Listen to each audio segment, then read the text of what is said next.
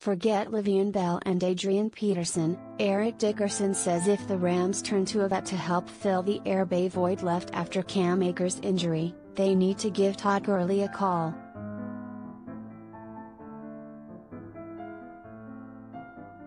The former Rams superstar explained it all to TMZ Sports out at LAX this week, saying Gurley would be the perfect runner to sign if LA doesn't like what it sees from Akers' backups this summer.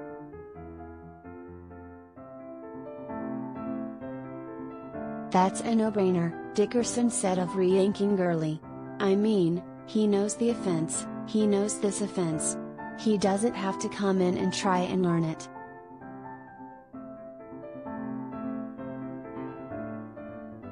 He knows, Sean, McVay, he knows the guys on the team, that would be an easy fit.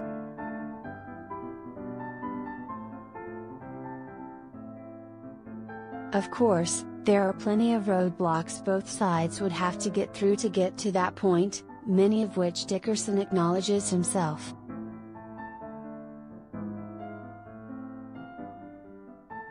Todd Gurley first touchdown as a Falcon pick. Twitter.com slash RLCKHCZW1R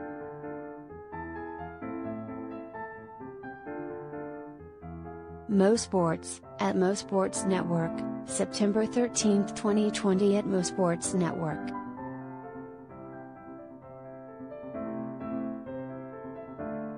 First and foremost, the two parties didn't have the best breakup when the Rams moved on from their former star in 2020.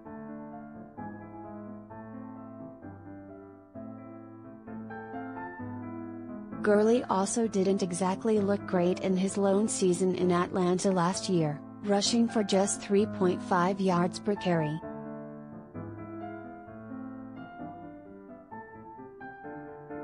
But, Todd is a free agent seeking an NFL home, and the Rams could use the help, so Dickerson says business decisions could end up motivating both sides to reconnect and enjoy a new marriage.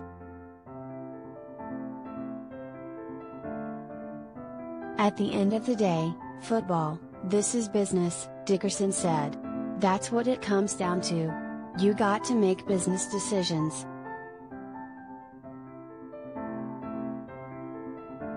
You got to make decisions that are good for the football team, and the player has to make decisions that's best for him.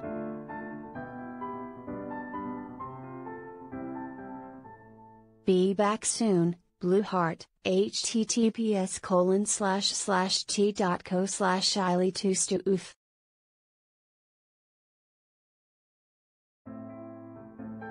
Cam Akers, at Therial underscore Cam 3, July 20, 2021 at Therial underscore Cam 3.